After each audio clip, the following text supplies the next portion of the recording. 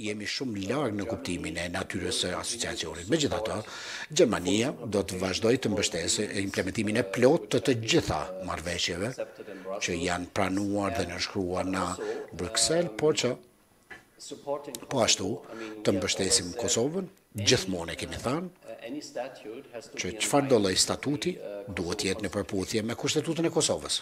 Tani politikanët duhet të punojnë në realizimin e atyre marrëveshjeve, ashtu që të arrihet ajo që të gjithë e duam, stabiliteti dhe paqe.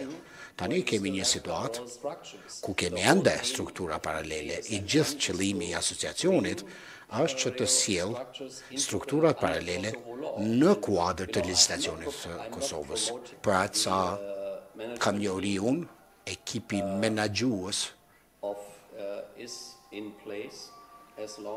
është aty përderisa draft-statuti të miratohet. Pra, ky vendim nuk është në përputhje me marrëveshjet e Brukselit. Dhe prapë, do të nënvizoja atë, pra nuk mund të thuhet çka nuk do, pra duhet të veprosh në mënyrë konstruktive dhe në mirëbesim.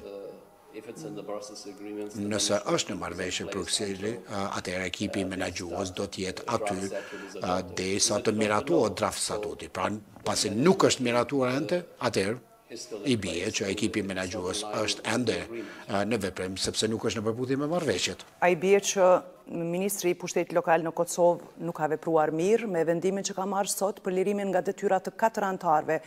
Është një renditje e qartë e e ngjarjeve. Pasi të miratohet statuti, atëherë ekipi menaxhues nuk do të ekzistojë, por derisa nuk është miratuar, nuk mund të shkarkohet.